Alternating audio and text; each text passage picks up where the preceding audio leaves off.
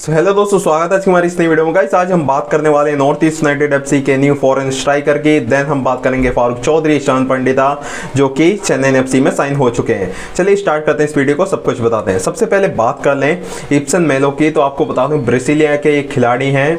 इनकी उम्र 33 एयर है एंड काफ़ी ज़्यादा एग्रेसिव स्ट्राइकर माने जाते हैं क्योंकि इनकी सबसे बड़ी खासियत है लेफ़्ट विंग पर ये खेल सकते हैं राइट विंग पर खेल सकते हैं सेंटर फॉरवर्ड की पोजीशन पर ये खेल सकते हैं यानी फॉरवर्ड के तीनों पोजीशन पर ये खेल सकते हैं।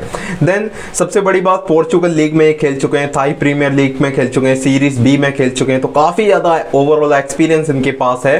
सो so, अभी विदाउट क्लब हैं और इनका कॉन्ट्रैक्ट बिल्कुल ही कम्प्लीटली विड्रॉ हो चुका है and north east united FC ने इनकी साइनिंग कम्प्लीटली कर ली है बस अनाउंसमेंट करना बाकी है।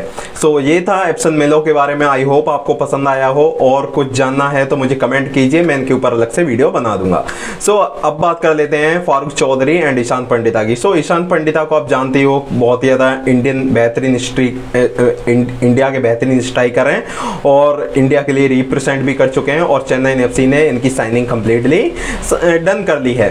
देन फारूक चौधरी की बात कर लें तो नॉर्थ ईस्ट यूनाइटेड एफ़ से भी उनका संपर्क हुआ है और चेन्नई एफ़ से भी। तो चेन्नई एफ़ के जो ओवन कोयल हैं, उनके अंडर ओवन कोयल के अंडर फारूक चौधरी खेल चुके हैं। सो इसीलिए फारूक चौधरी कंप्लीटली साइन होने जा रहे हैं चेन्नई एफ़ के लिए। सो आई होप आपको ये न्यूज़ पसंद आई हो। न्यूज़ पसंद आई हो तो इस वीडियो को लाइक करें चैनल पर नए हो चैनल को सब्सक्राइब करें। मिलते हैं अगली वीडियो में। Tata bye bye thank you